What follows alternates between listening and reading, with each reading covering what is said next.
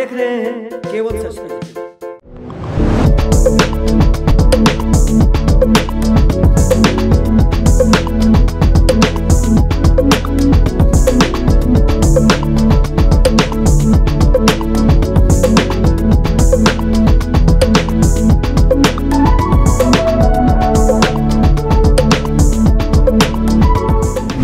केवल सच न्यूज़। मैं हूँ आपके साथ आनंद। आज आपको सीधे लिए चलते हैं सारण ज़िले के मसरक प्रखंड के ग्राम पंचायत राज मदारपुर में, जहाँ मीना देवी मुखिया के पद पर निर्वाचित हुई हैं।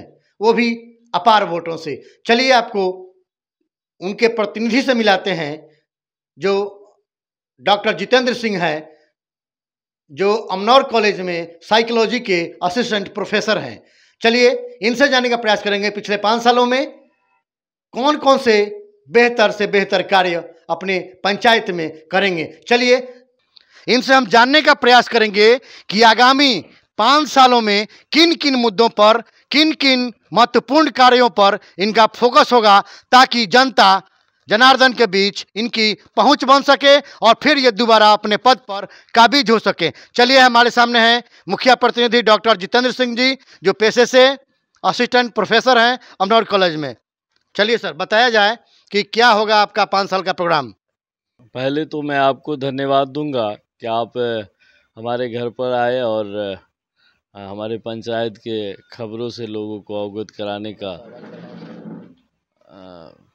कष्ट करेंगे। और दूसरा चीज़, दूसरी चीज़ कि मैं अपने पंचायत के सम्मानित मतदाता मालिकों को नमस्कार करूँगा कि उन्होंने मुझ पर विश्वास किया और अपना भारी मत देकर मेरे माता जी के पक्ष में उन्हें विजयी बनाने का कार्य किया।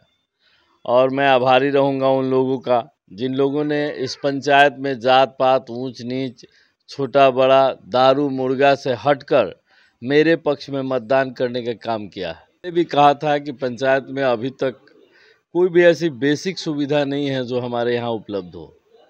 और मैं उन सभी चीज़ों पर कार्य करने का काम करूँगा।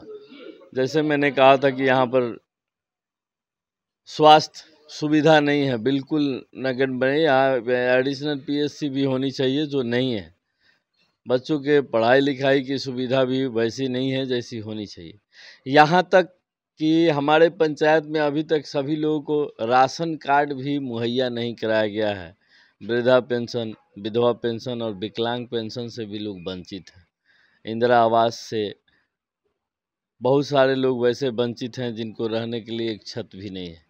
लेकिन पूर्व के प्रतिनिधियों द्वारा ऐसा कोई कार्य नहीं किया गया है जिनसे समाज में या यहाँ रहने वाले लोगों को बेसिक सुविधा मिल सके। मैं इन सारी बेसिक सुविधा जो भी है जो इनकी ज़रूरतें हैं राशन कार्ड हुआ पेंशन की सुविधा हुई आवास की सुविधा हुई पढ़ाई लिखाई को आगे बढ़ाने के लिए लाइब्रेरी की व्यवस्था होनी चाहिए, उसकी व्यवस्था हुई।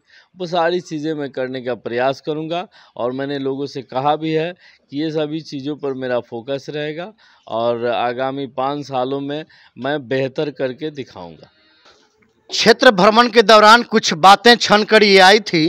कुछ गरीब छात्र छात्राओं का ये मांग थी कि चाहे जो भी मुखिया जीत कर आते उनका डिमांड था कि यदि कई वार्डों को मिलाकर, दो तीन वार्डों को मिलाकर यदि मिनी पुस्तकालय खोल दिया जाता तो हम गरीब छात्र छात्राओं को भविष्य में काफ़ी सहूलियत होती और निर्धन छात्र छात्र जो होते हैं, उन्हें काफ़ी सहूलियत होती आगे की पढ़ाई में।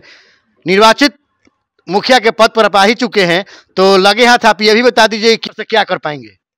बिल्कुल, मैंने सुना भी था, बच्चों ने डिमांड भी किया था और उनकी इच्छा भी है कि हम पढ़ाई लिखाई करें। और हमारी भी इच्छा है कि चूँकि बच्चे पढ़ेंगे तो कल के भविष्य वही है। और मैं इस पर पहल भी करूँगा। मैंने खुद भी कहा था कि हमारे पंचायत में एक लाइब्रेरी होनी चाहिए, दो तीन चार वार्ड पर भी होनी चाहिए, क्योंकि बच्चे वहाँ कम से कम बैठने तो जाएँ। बैठने जाएँगे तो एक पढ़ाई का माहौल बनेगा, बैठते बैठते सीखना शुरू करेंगे। क्योंकि यहाँ शिक्षा का स्तर एकदम निम्न स्तर का है, लोगों ने इस पर कभी ध्यान ही नहीं दिया है। मैं इस पर बात करूँगा और प्रयास करूँगा कि ये सारी सुविधाएँ उनको उपलब्ध कराई आपके पिछले जो मुखिया थे, उनके कार्यकाल में, उनके पाँच सालों में अक्सर जो ग्रामीण सड़क हैं वहाँ गंदगी का अंबार लगा है। चाहे आप जिस सड़क से पार करेंगे, वहाँ समस्या है। इसके निदान के लिए आप क्या करेंगे? अब वो तो पूर्व के मुखिया जो किया, आपने कह ही दिया। उन पर हमको ज़्यादा टिप्पा टिप्पणी तो नहीं करनी है। मुझे दिख रहा है, चूँकि मेरा पंचायत है और पाँच गाँव का पंचायत है तो अगर मगुरहा मेरा घर है तो धौरी, मदारपुर, सनकौली और सिरसा, जलालपुर मेरा आँगन है। और आँगन और घर में बहुत की दूरी नहीं होती है। मैं उन समस्याओं से अवगत हूँ और हर संभव प्रयास करूँगा कि उन समस्याओं का निदान हो और यथाशीघ्र हो।